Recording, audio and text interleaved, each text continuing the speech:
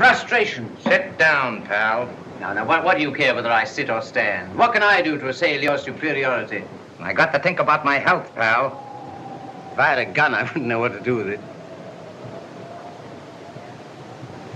I want to talk to him. Me?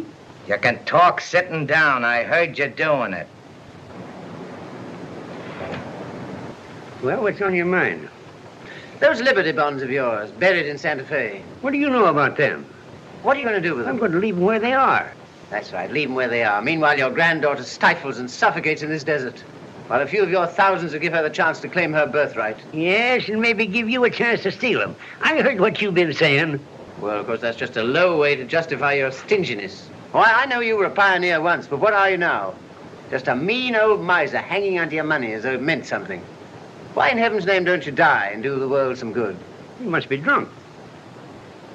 Yeah. Drunk or just about the lowest grade rat I ever run across.